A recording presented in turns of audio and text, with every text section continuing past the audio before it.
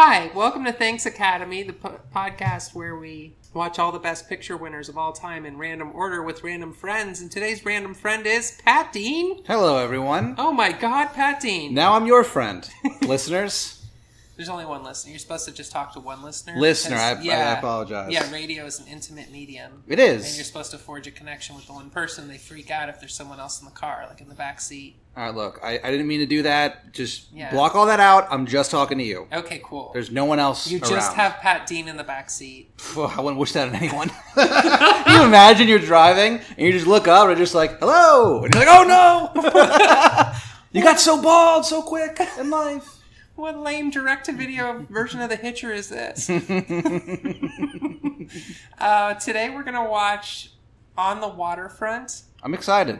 Are you? Well, because What I- is it? Okay, the I think Okay. This is the movie where the guy goes, I could have been a contender, except for what I am Oh. now. Oh, cool. Okay. And what's funny is that my dad used to always say that, Yeah. not meaning like, he wasn't saying like, oh, I could have been a contender. He would just quote that all the time. He, would- it made him happy to say. He it. made me really happy to say it. Yeah, he It's quotes like a lot my of stuff. wife, but for like old guys. Yeah, for old guys. Yeah, yeah, yeah. Yeah. It's, it's a Borat for, for older gentlemen. Okay. So uh, that's the only thing I know about it.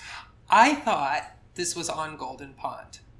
So when I What? yeah, when I I don't know why I had the two confused in my head. So I was really excited we got this movie. I was like, yeah, let's watch some Jane Fonda, some Henry Fonda, some That's Katharine so Hepburn. funny. Let's watch some romance with Pat Dean. And I went to download it, and then there was Marlon Brando in Yeah. black and white, and I was like, I don't know what the fuck this movie is at all. I have no, that I cannot believe you thought it was on Golden Pond. I totally thought on Golden Pond one. Of, of course, I thought is Katharine Hepburn and Henry Fonda. Of course, it was in the fifties, not the eighties or whatever it actually was. when I was in college, uh, I took a, a course on medieval literature, and we had to read Beowulf, Oh, and I didn't want to read it, so I just didn't read it. Okay. And um, I graduated with a degree in English, by the way, but just didn't read Beowulf. Well, Beowulf was written in Old English. Yeah, it's for It's you know, optional. yeah, it's for old-fashioned people. But I I remember I literally thought I'm not trying to be funny. I thought it was about a werewolf. Okay. I thought about a wolf creature because it's called Beowulf. And in my head, I was like, all right, if they just call on me, I'll just bullshit something about how cool it is to see a werewolf in, in literature. And I'm so glad they never called on me because I would have, I think they would have, they would have expelled me. That is actually cooler than what it's actually about. Somehow, even Yeah. it's about dragons, Monsters and stuff. monsters, Yeah, but it would've been- dragons, and somehow Angelina Jolie is in it. Yeah. I, Neil Gaiman, I think, wrote that script. Isn't that weird? um, was it adapted from one of his like seven projects a year that he You know, does? yeah, really. No, it, it, was, it was, I think it was written by him and the guy who co-wrote Pulp Fiction. Roger something. Somebody co-wrote Pulp, Fic- Pulp There's Fiction. a yeah. Well, he, he wrote the. Oh no, I'm sorry, not Pulp Fiction. Um, the one before it, uh, Reservoir Dogs. Oh, I was gonna say, Yeah, yeah, hey, no, no, no, no, not Pulp Tarantino's Fiction. been hiding that super well. Very well. yeah, no. So I think it was like written by like two like obviously very talented writers, but I don't I don't think it got very good reviews. no, because the story of Did that win an Oscar? No, it did not. Son of a bitch. No, Angelina Jolie, I believe. No, she won an Oscar for uh, Girl Interrupted. Yeah, Yeah, so I was gonna say she's still waiting for her Oscar, but I think she got it out of the way nice and early. that's always good. Good for her. Yeah, I, I I did the same thing. Did you? What'd yeah. you get it for? I just want to just for being cool. oh, one of the technical. See, earlier awards. said a, an acting Oscar. Yeah, But it's not really what I do. I don't act. I'm just a really cool guy. Yeah. So that's the best boy, right? I'm the best. Yeah. I always loved at in uh, the movie Airplane Yeah. in the credits. They said "best boy" and then the person's name, and then underneath it, "worst boy" Adolf Hitler. I always laughed. It was such a dumb little joke. oh, they don't make them like that anymore. no, they don't. And when they do, it's stuff like, um, scary movie. yeah, and like the the parody movies and stuff like that, which So, yeah. fucking suck. We should we, we should uh we should revive that. Make an Oscar category for it so people actually like try hard. Best parody. best parody movie. Can you imagine having to say, and the Academy Award for Best Parody goes to. It'd be a porn movie every year. Yeah, there's like two dudes who make all these parodies, apparently. Yeah, yeah, yeah. I don't know their names, but they're these these two mysterious gentlemen.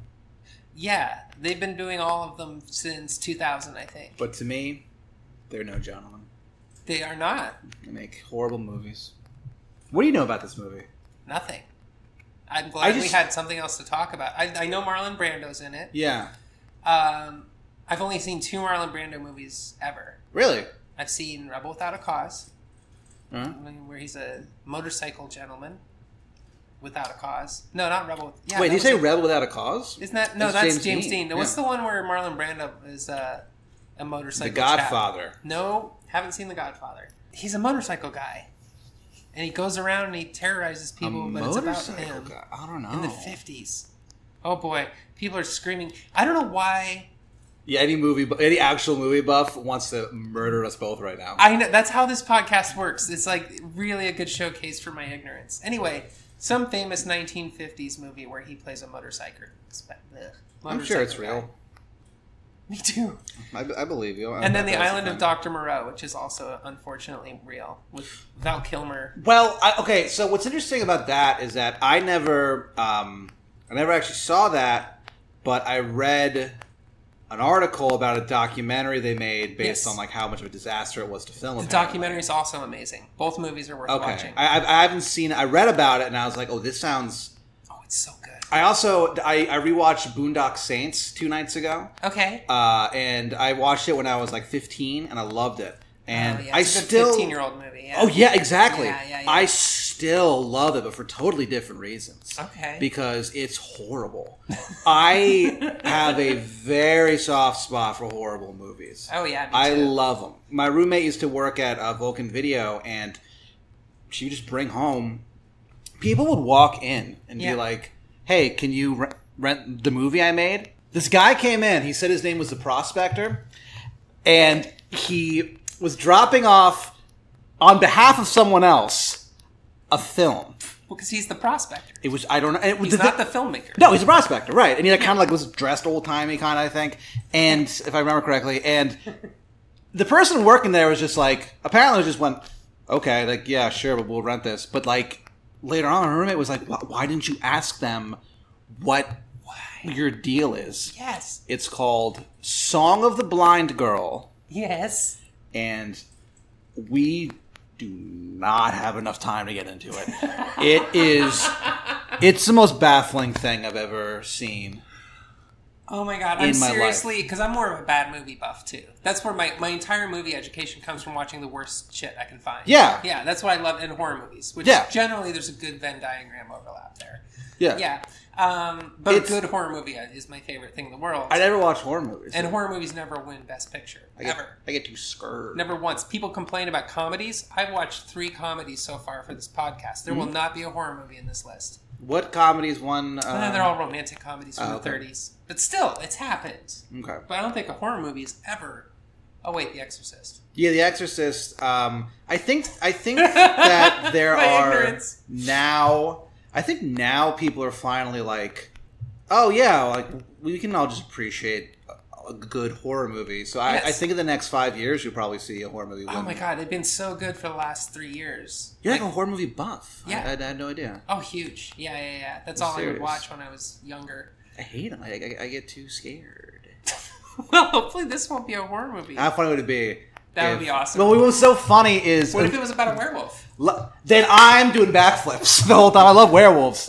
I love reading horror. I hate being scared like that. I hate that Oh, shit. yeah, yeah, yeah. And I remember recently um, we went to go see uh, Master Pancake. Uh, I think you were there. Yes. And and, we, and yeah, of course you're there. And they fucking you guys picked signs, and I was like, Yeah, oh, it's a horror movie, and I was like, oh, but I've seen this before. It's not scary. it's a horrible movie. Yeah, it's it's pretty bad.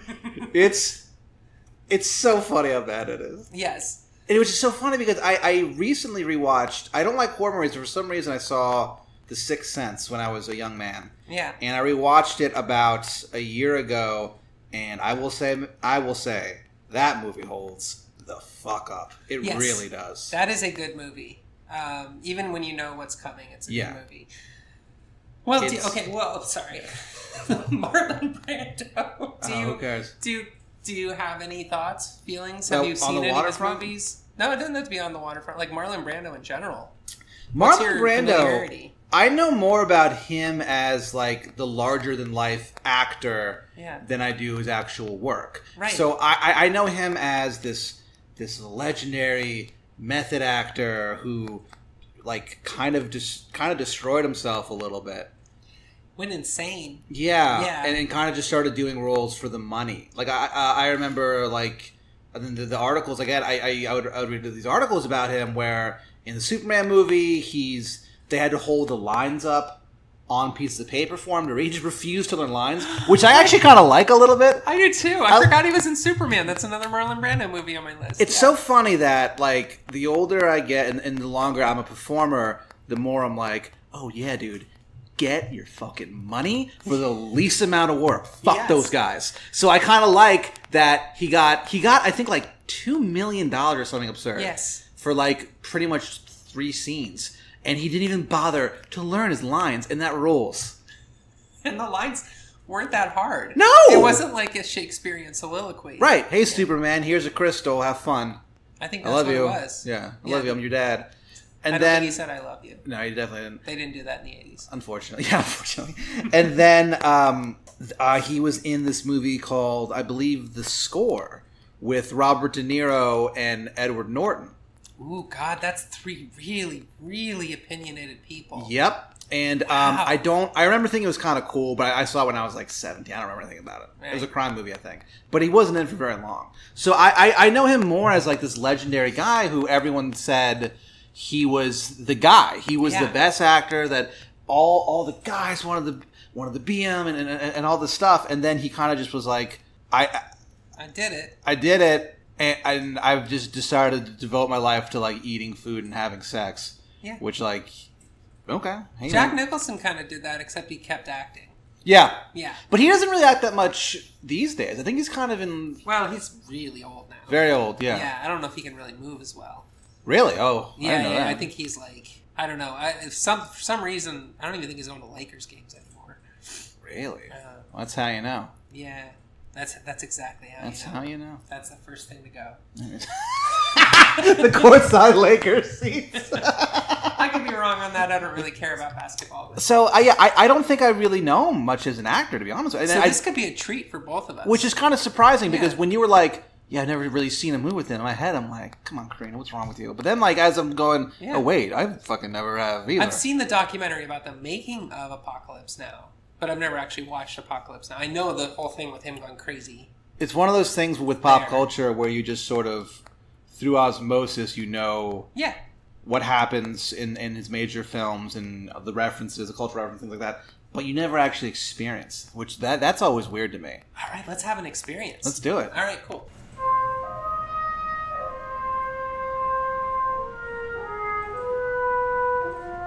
Classic. Yes, it's classic text. Carl. Oh, I thought that said Carl Maiden. you imagine? Leif Erikson, didn't he discover America?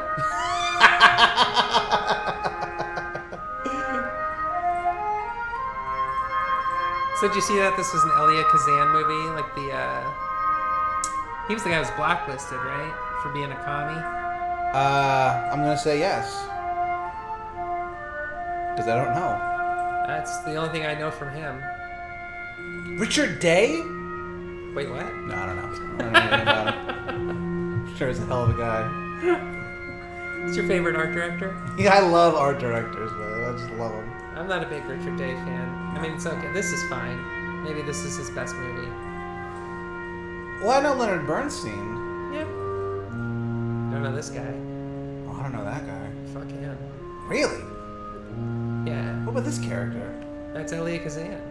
Huh. I always wondered why it was a big deal he was booted from Hollywood because I'd never seen a single one of his movies.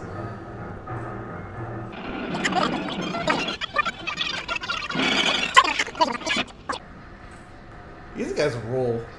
Yes, I love how like they just they look like dock workers, man. I feel like if you made this movie now, Yeah. these would all be just fucking studs. They would just they'd be uh, boy bands. Yeah, Yeah. But they they look like people have been doing this shit. I wonder if they actually cast it that way. Like if a lot of the extras are. Doc.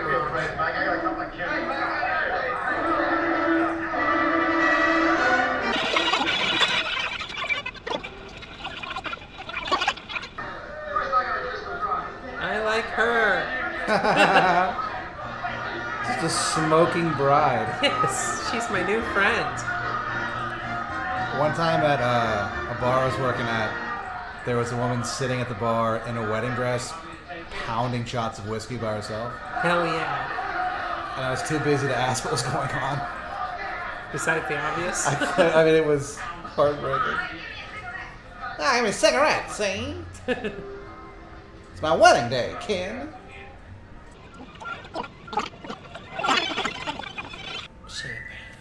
Yeah, I feel like like this is a movie where people are like, "Oh, Marlon Brando, he's so like smoldering and handsome, but he just looks like a, like kind of like a palooka, you know? Yeah, What the hell? They just invented rules for cars. It's a Mario Kart.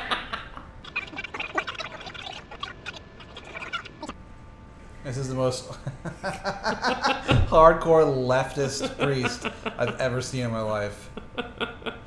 It's just Jake Flores as a fucking priest. I'm on the waterfront with you guys. I'm a priest.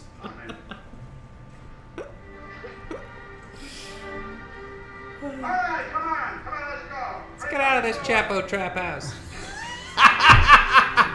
All right, back to work. Forget the dead man in the middle of the Well, load him out first. feet first. Got an order for one of those. Way we practiced.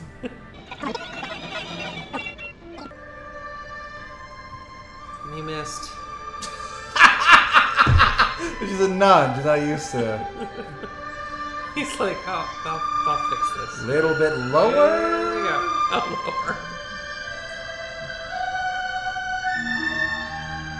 So why does uh, this work?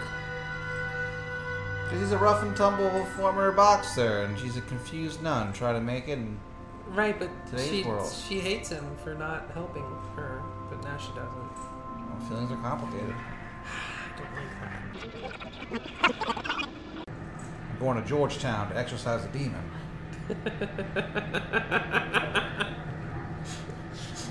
You get out of her, see? I'm just a potato eater. Ah, I'm just a. I don't truck with no Your demons. mother peels potatoes in hell. That's true. He's an alcoholic and a bitch. Well, My kid is doing her else.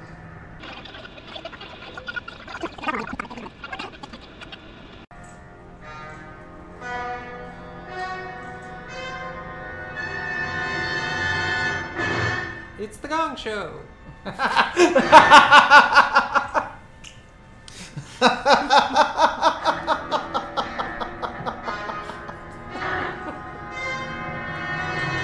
the unknown comics. See.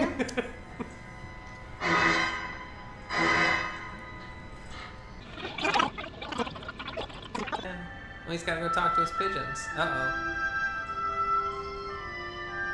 Okay, I'm gonna say this carefully, and I hope everybody understands my intentions here. But I would kill for that kid's haircut. It's so hot. it's a nice hair, I guess. It's a really nice haircut. I'd kill for anyone's haircut, to be honest with you. but what can you do? Yeah. he threw a dead pigeon. Fucking killed his pigeon. This kid's a Dexter now, dude. Jesus.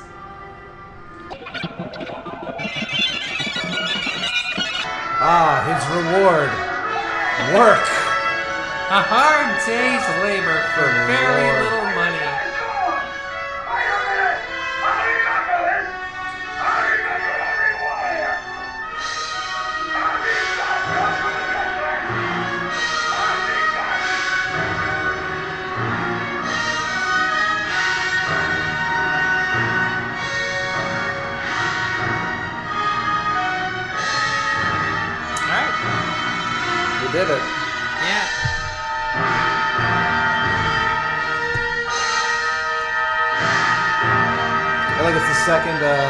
female part in this movie. A what? That was. That was loud. What What'd you think? Uh, it's cool. I liked it. It was fun. I liked it. It was good. It was a. It's very different from what like it, the way we made today. Yeah. I'm trying to think what movie. It was reminding me of some movie with halfway through, and I couldn't put my finger on which one. that's like kind of current. But we don't make like labor dramas very often anymore. And that's what the, this was essentially. Yeah, it's interesting that you say that because I feel like, um, at least like, I feel like that's like a big thing now that people are talking about Right. with politics is, is, is labor and, um, you know, the, the return of socialism or, or, or whatever you want to call it. Like, it's, it's interesting to see Yeah. that not be reflected in, uh, in movies. Huh, I didn't think about it like that. Yeah, I mean, there's a lot of movies that are sort of about corporate intrigue, like workplace dramas, but there's nothing like this where it's like a labor politics kind of drama. I guess the closest we've had in terms of prestige movies would be like uh, Spotlight or something where like the press is fighting against government Yeah, corruption. yeah. That that's kind of in the mold of this movie, but this Uh-huh. the the government and the cops are like barely involved in this movie. They, Yeah, there, there there's a lot of uh, you know, I th- I think it was interesting that they were like just investigating this guy in court, and they just let him go. Like he's like, just back to- at the nothing happened. it was an inquiry. yeah, It wasn't uh, he snitched on him, and there there didn't seem to be a lot of consequences unless he was maybe kicked out, but he was still secretly running it. I don't know. No, it said like that, that, that he was expecting to get indicted. Oh, okay. so I think the inquiry was going to lead to. But yeah, Okay. it was it was almost more like a journalistic thing. They kept saying, "Oh, you know, the story of this needs to get out," Yeah. rather than we need to like bust the bad guys. Anyway, oh, recap for those of you who haven't seen on the waterfront. Shame on you. now that we've seen it, we can be uppity about it. You know? Was Marlon Marlon Brando's an old boxer, ex boxer? Yeah. not that old.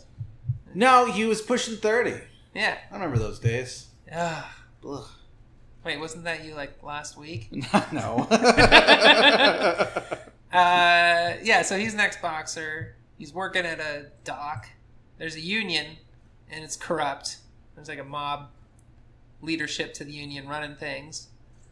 And I guess part of their like staying in charge is they got to kill people every once in a while. You know, what mobs have to do. Yeah. it's part of their job. And then they decide who works and who doesn't. And everybody in this movie really, really wants to do this shitty job. yeah, it, Yeah. it seems like a very idealized sort of American thing to be like, no, we're going to go work. We need to work. And we make no money, but we work hard. You know what? The you know what the parallel is to today though. What? is that like?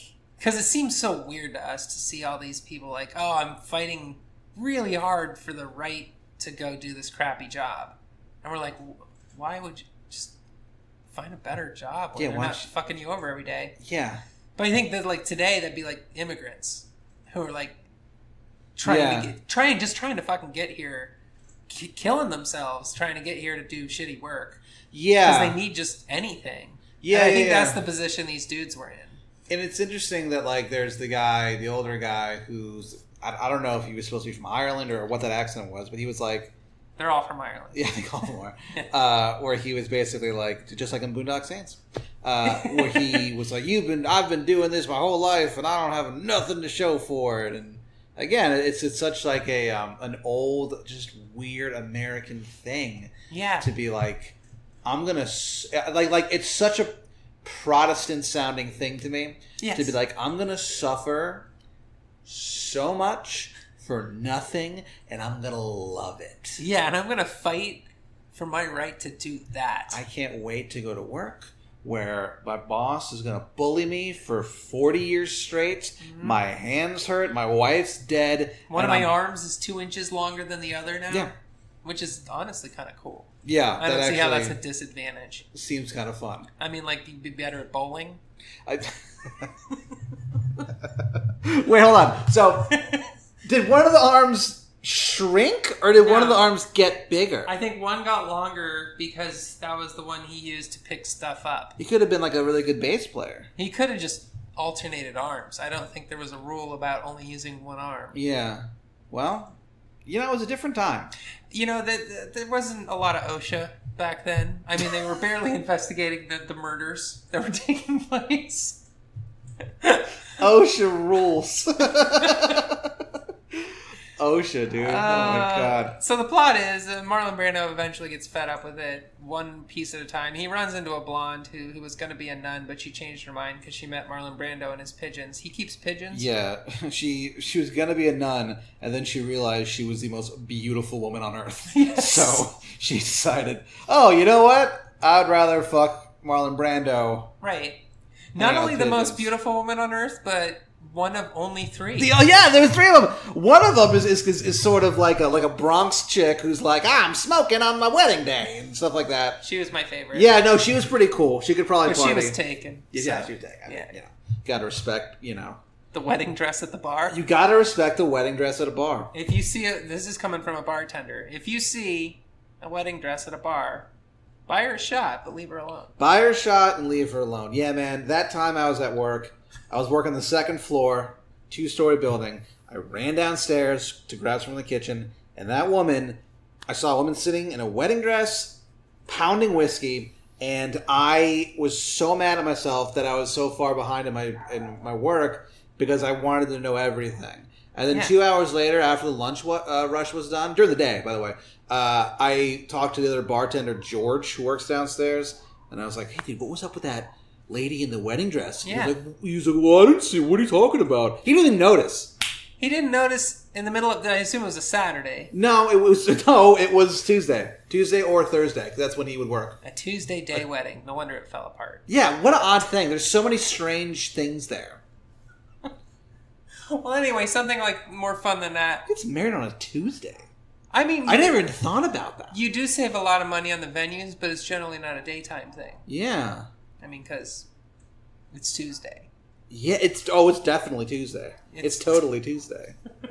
That's not- what, that, that's what she was saying to herself when she was taking shots. She uh, totally Tuesday, huh? Take Maybe she didn't have friends, and that was her bachelorette party. maybe bachelor party in a wedding dress. Yeah, she's like, I'll put the dress on and go pound some whiskey in the afternoon until uh, I feel better. Why not? Uh, Well, so did you like the movie? yeah, I did. I, Yeah. I like. There were parts of it that were laughable. Yeah, I think mostly for just being kind of old timey. Yeah. And nothing, nothing horrible. And at first, I didn't like Marlon Brando's acting at all. No. I Yeah, he was way underacting this thing. You were saying that it almost was like he was doing the cue cards bit, where he was, Right. yeah. I think, but I think maybe that was the point is that he was sort of underacting it because I don't know, he's this beaten down former, you know, boxing champ or whatever. Yeah, I think he was supposed to be like detached. Yeah. like he could barely engage with the world, and then like this blonde, who was that? Eva Saint Marie, I think, pulls him out of it, and then he becomes like a lot more active and emotional and all that stuff, and it gets a lot more interesting all of a sudden. They do that classic like 50s, 60s thing where the dude's like, I'm going to come over and I'm going lay my lips on yours. And, then, and, and, and she's like, no. And then he does and then she's like, yeah, like super into it. Yeah. That is always a thing. It's always movies. a thing, and you know what? It's funny. Uh, for those of you who listen to all the episodes, Well, thank you. We appreciate it. We do. And also, you remember from Rocky where I recoiled in horror when Rocky did that. Yeah, Rocky, Rocky. God, it was it's the most uncomfortable That scene that won an Academy Award. I forgot. Yes. For the screenplay, right? for the whole thing. Best Picture. Really? It was I, nominated for screenplay, just but it won Best Picture. I totally forgot that Rocky won an Academy Award. yeah. And he does that move where he goes. Well, first, actually, he doesn't go to her apartment. He drags her into his, Yeah. and then he forces himself on her. Yeah. while she's literally verbally saying no and I'm uncomfortable and I'm gonna leave.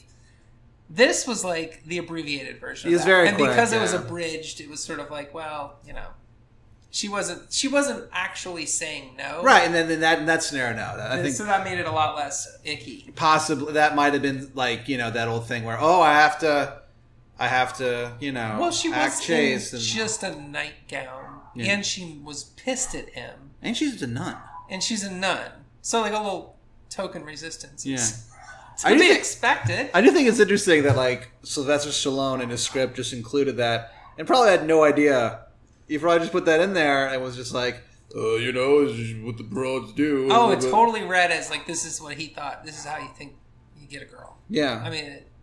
it I don't want to get back back on Rocky Yeah. because that's been bothering me ever since I saw Don't that. do that. Buy her flowers. Sly, secret to a lady's heart. He flowers Took her, he took her ice skating. and boxing. Yeah, that's true. So I don't know what it is with boxers. Uh, this keeps coming up. It's almost like they have aggressive, violent tendencies. They have and are competitive and, and to don't really they want. respect boundaries. No, boxers. weird. Yeah. Yeah. What did you like the best about this? If I could be so bold. Oh God.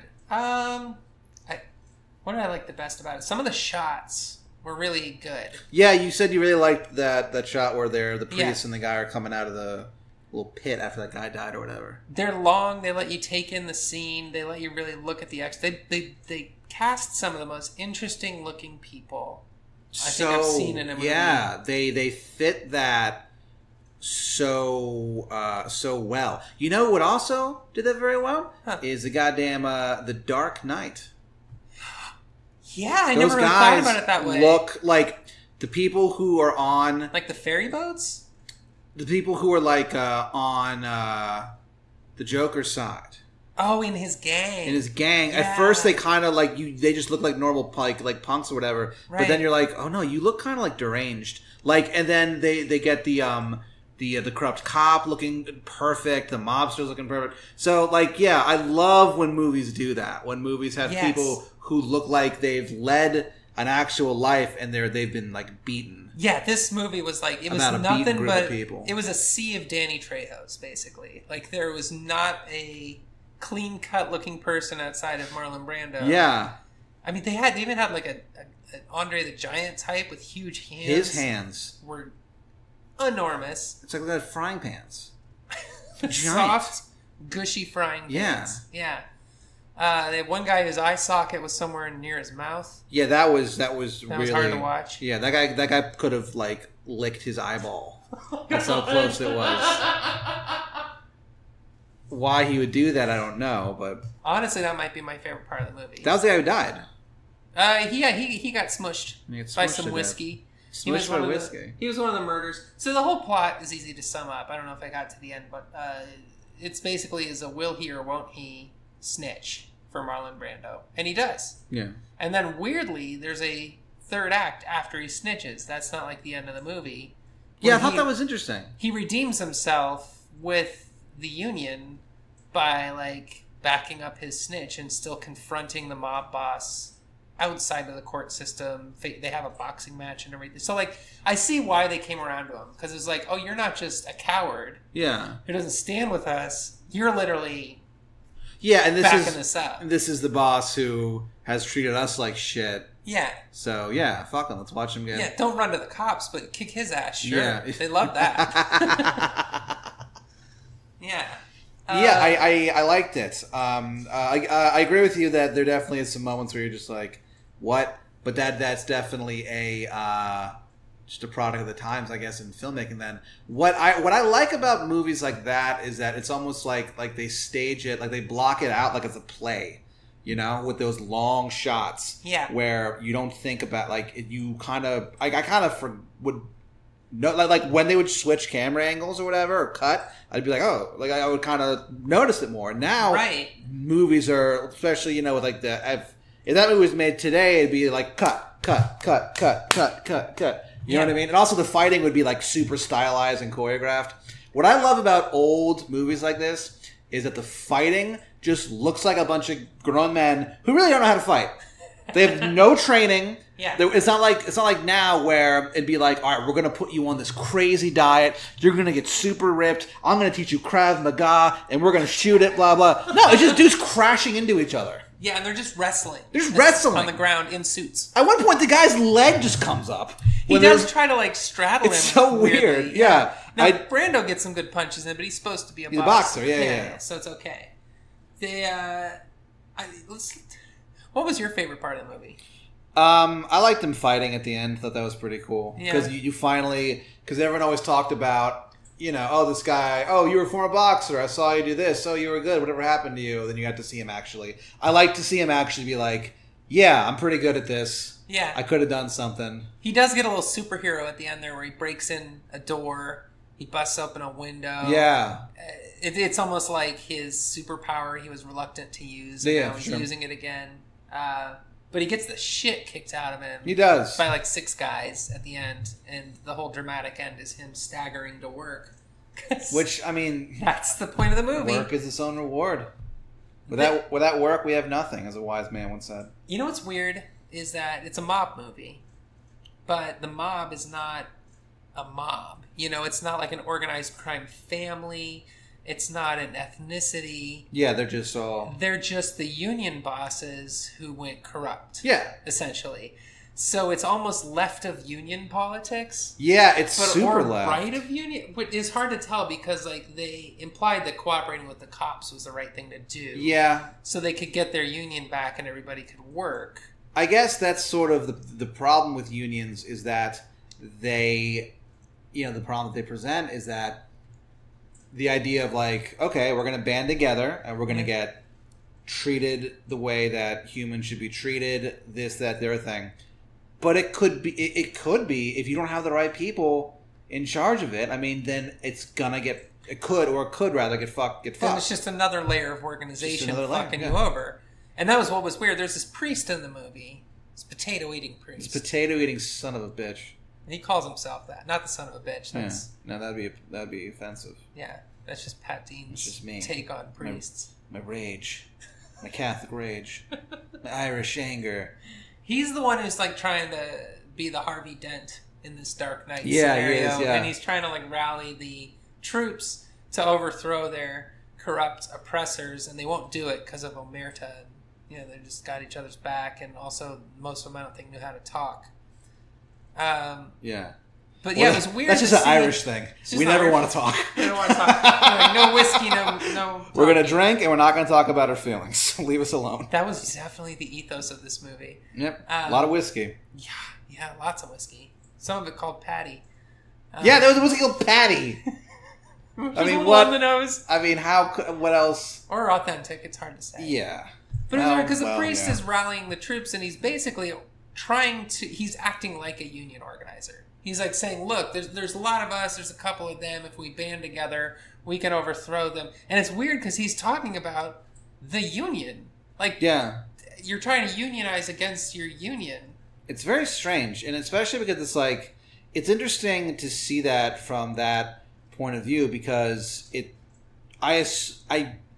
He's a. I assume he's a Catholic priest. They don't really. Oh, yeah. Yeah, because he talks Oh, about God. potatoes and stuff. So I assume he's Catholic. Well, and he's also wearing the collar and the nun thing. Yeah, That's yeah, another no, yeah, okay, yeah, yeah. So- Confession. It's interesting that yeah. he comes from that character comes from a background of extreme like authority, uh, like, like authority Yeah. and organization and stuff. So it's kind of interesting to see that character be the one who's like, "No, fuck these guys! Like we got to take these guys down. We got to take down the corrupt leaders." And it's like, well, where? Yeah, but the Catholic Church, for all its many, many, many, many, many, many, many, many, many flaws. Name one. Faults. Flaws. I don't. Yeah, Yeah. From the last 2,000 years, I'll, I'll think about it. yeah, I'm sure I can come up with something. For all of that, it's always been the most left leaning church. Like, it's definitely like. yeah. I wonder why that is. They, they really take the whole help the poor thing a little more seriously than some of the other denominations of Christianity. And to the point where they get, of course, all Catholic about it and rigid, like right and wrong, Yeah, black and white. But I, th- I can. It makes sense that the Catholic Church, who's interested in helping solve poverty more than other churches, would be the one that would be involved here. But I don't think that's why.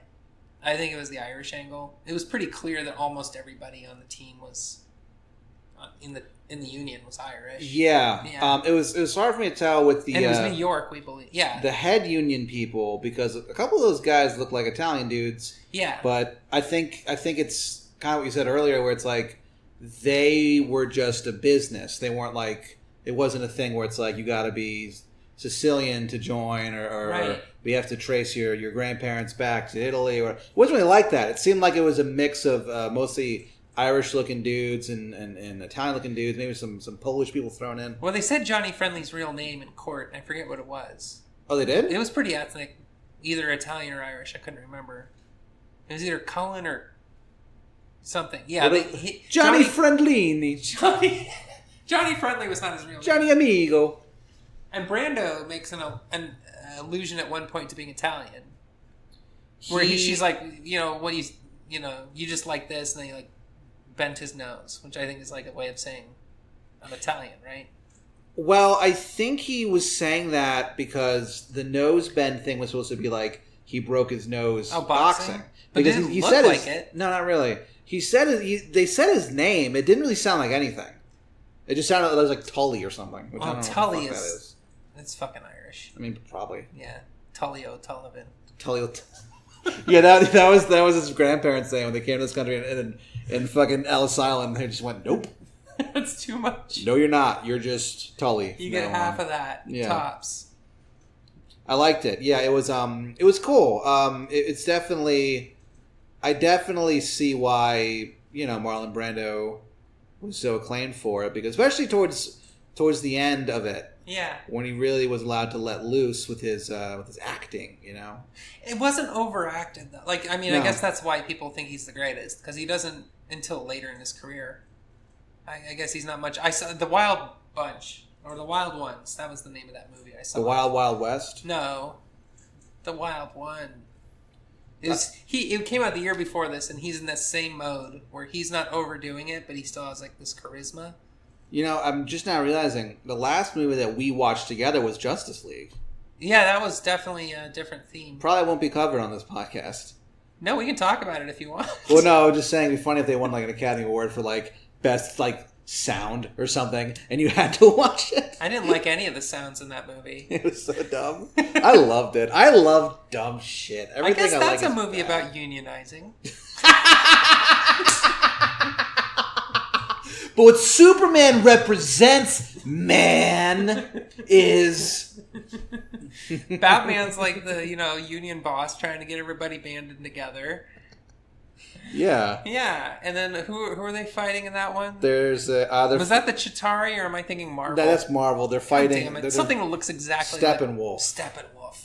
Right. from 'cause the, uh, the the the new gods. they're or all whatever they're all gods in yeah. DC. I that's forgot. the uh, the Jack Kirby stuff. Yeah, yeah, yeah, So they're fighting aliens though. It's Steppenwolf Yeah. and a bunch of alien looking. He's things. part of uh, yeah. He's I think a a harbinger of uh, of uh, uh, dark uh, Darkseid dark side. That's right. That's yeah. right. So So they just want to get to work.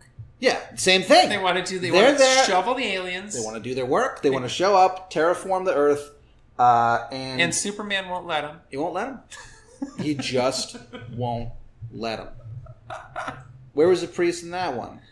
You know? Uh, that would probably be Aquaman or something? Let's see, Wonder Woman's Eve Saint Marie because she's the one who makes everybody feel better by flirting with them a little bit. Yeah, Uh, no, Aquaman's not the priest. He's not the no. Bruce. Bruce Wayne's the priest. yeah. He is sort of like a moral sort of. He's the uh, one trying to egg him on into doing it. Man, I kind of like. I fucking really like stupid Ben Affleck as Bruce Wayne. I do too.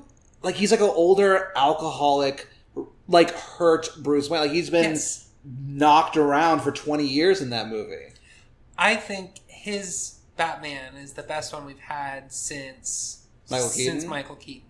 Yeah, I never really bought Christian Bale's was kind of blank to me. Yeah, it was fine, but there was no personality to him. There were he was just No. yeah, he's a blank slate. Yeah. Um, his Batman voice was was silly, uh, but like and Ben Affleck's Batman voice was a little bit silly, but it wasn't as silly as um, It's the stuff they made him drive.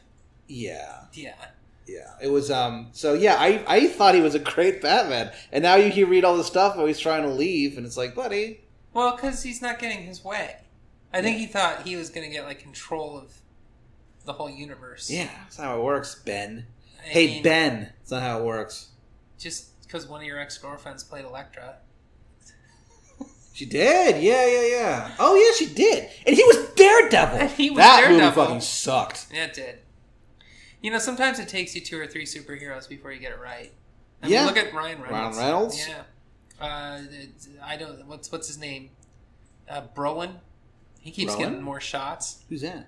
Josh Brolin. Oh, Josh Brolin. Yeah, Yeah, yeah, he's he- like nineteen different Yeah. people. He's finally getting better at it. Yeah, it's it's it's odd. Uh, I think Marlon Brando would have been a good Batman.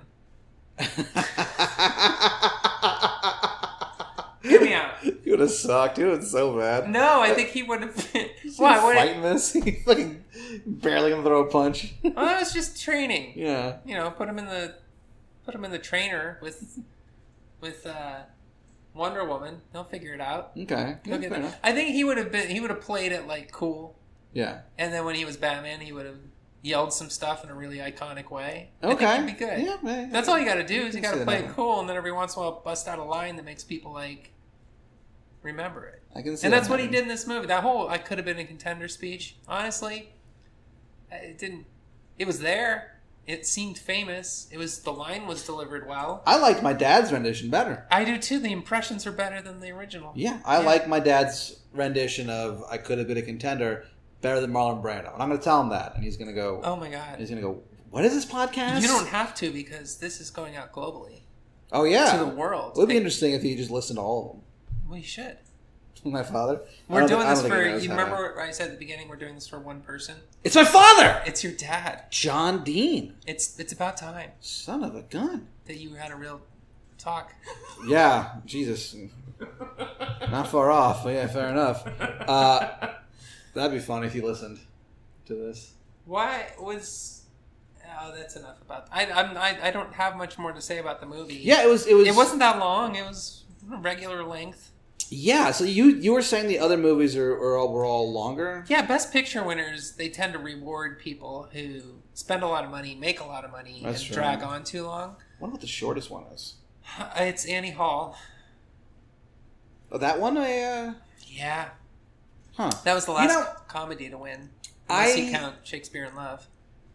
I I remember watching that movie and, and thinking it was more like a like a drama than a comedy. I don't know. I've never seen it, and I'm dreading it Yeah. because I have strong feelings about Woody Allen. And I, Yeah. Well, yeah, of course. but I'm forcing myself to watch this, which is supposed to be his best movie, right? It's good. Yeah, it is good. Um, Well, no spoilers. I don't know how you'd spoil it. It's Annie Hall. spoiler is a pedophile. Sorry, sorry, listeners. Sorry, Dad. Sorry, I fucked it up for you, Dad. I really apologize for that. Yeah, I always, I always kind of viewed that movie more like a drama than a uh, than a comedy. There's, mo- there's moments that make you laugh for sure, but Well, I guess for Wo- eh, because it's Woody Allen, it's associated with comedy. Yeah. Because there's a jazz soundtrack too to it. Oh God, of course it does. Put down your fucking clarinet. I know. Why does everything has to sound like a Star- Starbucks in your world? Why does it all? Why? I, whatever. I hate. There's a I'm specific disappointed kind of in you, jazz Woody Allen.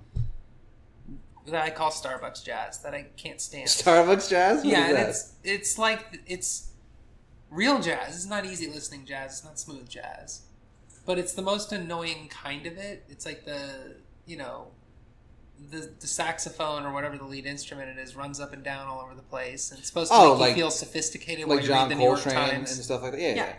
Interesting. And you do not like that. No, I don't. And the reason I don't is because it's always playing in situations where people want to feel smart but are not. You know what I mean? Yeah, of course. And uh, I like the music itself. I'll sit down and listen to Coltrane or I'll listen to Miles Davis, but that doesn't seem to be what's playing. It's like some back catalog of B sides of shit that sounds like that, but it's just annoying. Yeah, for sure. Um, I think that John Coltrane went a little insane. Like he went so far. He became so unbelievably good Yeah. at his his improvisations that it's kind of ruined his action. It's like it's like you know that fucking band Dream Theater. yes. So like you're never gonna listen to that and be like, "Wow, this is such a well written song." You're gonna go, "This is the most technical shit I've ever heard in my life." Yeah, the like only John, people who like Dream Theater are drummers, right? yeah, yeah, dr- yeah, drummers and prog rockers. You're not gonna listen to like later John Coltrane stuff and be like, "Oh, I'm gonna bob my head to this." You're just gonna be like, "Holy shit, listen to this guy, fucking go! He's incredible." Yeah. And with Miles Davis, Miles Davis was never um, a technical virtuoso on that level. So that's why his music, I think, is better. yeah, it's more Bitches Brew is fucking incredible. it's more emotional, it's more catchy. You're listening to Jazz Time with Hey, Pat and. Carina. Jazz Talk, uh, 96.7 W. W. FUX. My name is Jazz Dean, and we are talking jazz. Did you know that I played upright bass at Carnegie Hall when I was in high school. Hell yeah! You know what I did at Carnegie Hall when I was in high school? What did you do? I sang Negro spirituals with my all-white suburban choir. From Colorado? Yes, from Colorado. Jeez. Yeah, at the time we thought it was really prestigious. Now I'm just super embarrassed. So yeah, you probably had like, and y'all were young, so you probably still had your weird Colorado accents. So it's probably like, swing low, sweet chariot, or whatever. Like, What the hell is a weird Colorado it's they, accent? they, they have Colorado, Colorado. They have a weird little thing. I, di- You do a little. I know I did not think there was a Colorado accent. Oh, there's a Colorado accent. Wow. I love accents because I don't think I really have one, and No, I no, I no, love. I don't have one. You do a little. You you have one. What's my accent? That. Cool, Ang- handsome. Anger. That's not an accent. That's Well- a crippling emotional problem that's ruined uh, every relationship I've ever been in. Yeah, you seem to make it into an accent. See? No, I love I love accents. Um, no, Colorado accents are, are 100% a thing. Colorado accents, but they're slight like they're not the Colorado. What I think is very funny with the Colorado accent is that when you say the word Colorado, it comes out because it's Colorado. Colorado. Yeah, I'm from Colorado. Colorado. It's Colorado is bullshit. Colorado. Well, well, hey, you know, Yeah. I'm not going to argue. It's our version of Man Shack. We wanted to get away as far as far from Spanish pronunciation as possible, the Baltimore accent is so that the we can feel better about skiing on native land. Is Colorado native land? It's all native land. I don't know. I don't know anything about it. My sister lives there, but I don't know. Really, I don't know anything about the history of it. No, no, no. Really? like- no, well, no. Everything's native land. but I I'm know. But I mean, like, yeah. Oh, yeah. I mean, There Colorado. Oh, yeah. oh, Yeah. Uh, Arapaho, Utes, Cheyenne. really? Yeah. Yeah. Um, they were the they were nice people too, not Mhm. like the Texas one, the, the mean ones, Oh yeah. the Comanche. I'm probably now, now I'm probably gonna get hate mail. I know I've been brainwashed to think the Comanche were mean, but my understanding was that, that other tribes didn't like them either, right? I don't know. I mean, who knows? I'm sure there were a few that were mean people. You're listening to Native American Talk with You're Pat listening Dean to and Carina. Bash the Natives with Carina Magyar and Potato Eater Patrick. old, pota- old Potato Pat checking in. We've got the phrase that pays coming up. You can win tickets to see Hinder. Caller number seven hundred. Today's phrase that pays is "This land is your land. no, this no. land is my land." Oh no! The worst accent in America is is the Baltimore accent.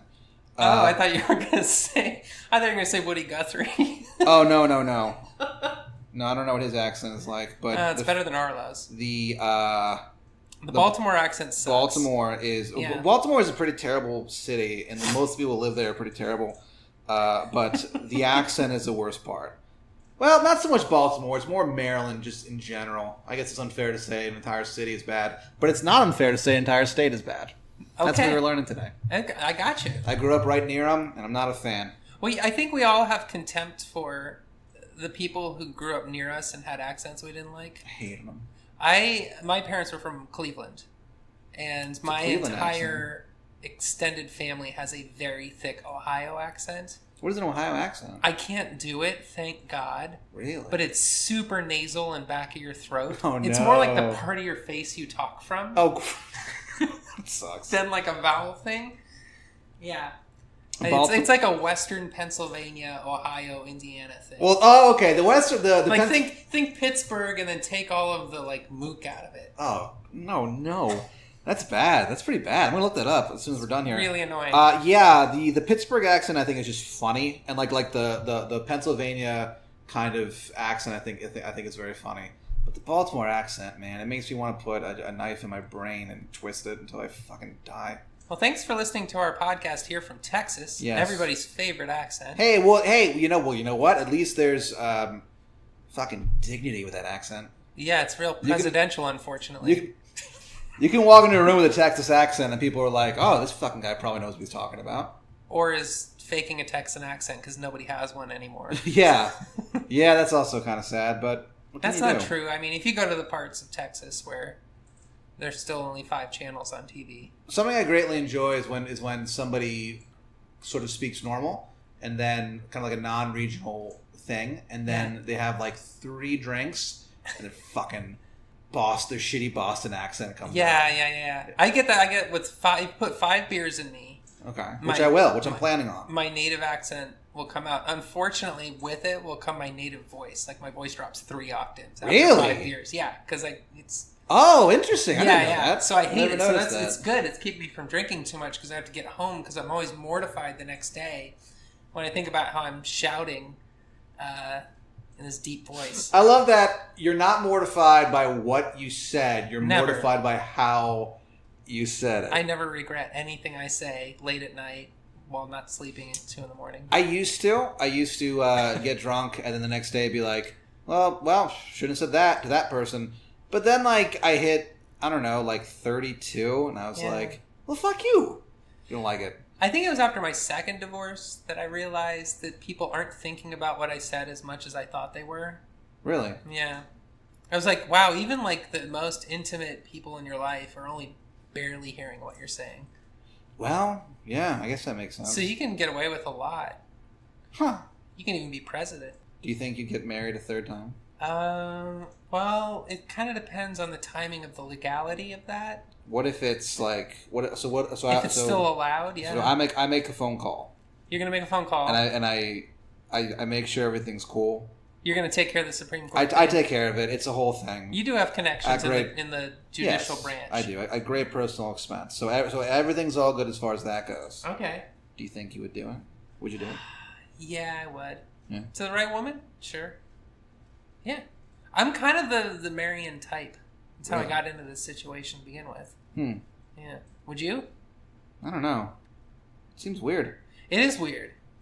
I like I like being by myself a lot. Do, yeah. I need it. What's your longest relationship? Uh, not long at all. Okay. No. I didn't. Sorry, this got personal. That's all. I don't care. On a movie podcast. Not a uh, not a hit. on a movie slash jazz slash Native American talk. Yeah, it's very interesting.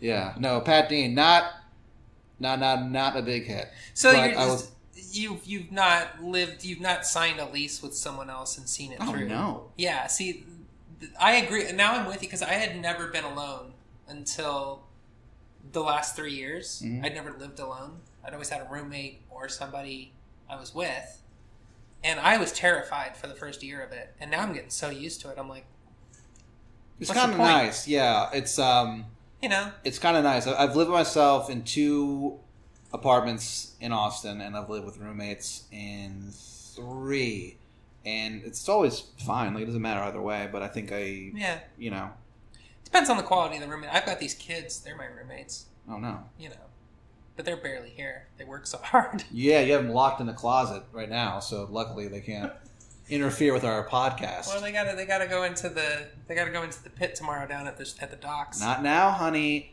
Mommy's talking about Marlon Brando, oh With- my god! a man you're probably frightened of. I think I just caused flashbacks amongst all the baby boomers listening. Not now, mommy's talking about Marlon Brando and Maybe I just gotta meet the right lady and get married. Who I knows? mean, that's what society wants you to do. well, you know what I say to society? Yeah. I say you got some pretty valid points sometimes. Well, I mean, I'm Not speaking always. of society in general, like magazines and movies. The people who know you don't care. you, Yeah, it's very true. you do or not. it's extremely true. Look, we'd all be happy for you, but honestly, it's not. Like, It'd be so funny. Wouldn't it be funny if I got married? It'd be awesome. You would throw a great wedding. Yeah, it'd be so much fun. I think it'd be too super duper fun. I think I'd have a lot of fun. Yeah. I, I think that part would be, would, would would be pretty cool. I just think it'd be real funny. I remember my mom told my brother that she always suspected that I would just come back to Virginia to like visit her and just bring some lady and be like, "Oh yeah, we got married like a week ago." oh, that you would just do it. yeah, You know what which I would be think? kind of which would be kind of tight actually. and this is weird and sincere, but I truly think this. I think that if you ever meet a woman that you're going to marry, woman, right? Yes. Okay. Unfortunately, What? because I will tell you this. It's a wider dating pool. Well, it's a wider dating pool, and I, I will say I'm a, I'm a bigger hit with the other side. Good for you. Yeah, it's fine. It doesn't bother me, but Yeah. well, it bothers me a little bit. but what can you do? But you know what? I think thank you. I go. Thank you, sir. Good night. Go if home. you meet the lucky lady the luckiest lady in the world. who gets to uh, link up with you in marriage, I bet you she's going to be badass. I I can hope only so. see you ending up with a cool, good person, Well, that's nice to say. I hope so. and I think that's that's that's because you've not been hooking up with bad people Yeah. for No, I years at a haven't. time and No, getting more progressively more and more broken. You're exactly as broken as you were when you were born. Yeah. it's a good place to be. Yeah, that's you know what I mean. It's the peop It's it's hard when you've had your heart broken a couple times to keep landing on people who don't want to do it to you. You're, you're you repeat bad patterns. Oh yeah, it's like it's like a recurring uh, sort of cycle. yeah, exactly. So you got no cycle. How do we break these cycles? I feel like that they're impossible to break. Well, I think you have to uh, confess the truth to your girlfriend, That's not happening. and then the cops, and then you got to beat up the bad guy. That's what we learned, isn't it? we learned from our friend Marlon Brando, Thank Academy you. Award winning actor Marlon Brando. Thank you for this movie, Elliot Kazan and, and Marlon Brando. Yeah, Elliot, You've you knocked it out. You knocked our- it out of the park. our romantic outlooks on life. And thank you, Pat Dean, for coming on the show. Well, thank you for having me on the show. do you I- want to share anything with the audience where they can see you, what they can do? Uh, when does this come out? Yeah, in about two weeks. Okay, then I have no idea. But um, I have a couple podcasts too. Uh, Yes. What? That's weird. Plug that. Comedians with podcasts. Comedians in cars having Have, yeah, comedians in cars recording podcasts. Yeah. Uh, yeah, I do. I do a few podcasts. Um, I do one that you've been on called "I Learned Nothing." It's about philosophy. It's true. Isn't that fun? It my was fun. my grumpy friend Ben teaches me about philosophy, and um, I just try to make him mad Yeah. the whole time, And they shit on Baltimore accents on that the too. entire time. Yeah. And then the other, you know what? The other fucking podcast I do, we also shit on Maryland accents. Uh, it's called the Lanalax Corporation. It's a very mysterious thing. It's a hypothetical choose your own adventure podcast uh, that takes place in a universe that wants to ruin your life. We record it every Friday night at two in the morning. I swear a- to God, It's super awesome. it's fun. I love it. It's crazy. It's not for everyone. The, the people who like it like it a lot, and then there's people who who go. Like, I go, hey, did you get a chance to listen to that? And they go, yeah, yeah, I checked it out. And you just go, ooh, never, um, never mind. Yeah, check well- please. I'm in a different position because everybody feels pretty lukewarm to this podcast. Like, so I don't have to really deal with Yeah, the ups and the downs, so that's Well, nice. Life is nothing if, if not ups and downs. Hey, uh, go get a drink from Pat every uh, Friday and Saturday night at Room and Thursday. and Come Thursday, open mic. come Thursday, by Friday, open Saturday. mic night. It's like one of the most fun nights. It's just it's, it's just crazy. A lot of Velveeta Room in Austin, Texas, best comedy venue. If you're Oh. ever in Austin, go see a show there. Please, I'm begging you. He's, he really is. He's on his knees. I'm literally on my broken knees, It's very unnecessary. blood everywhere, and Yeah, there's going to be a lot of explanations. that's okay. I'll make the kids mop it up. See ya. Bye. Goodbye forever.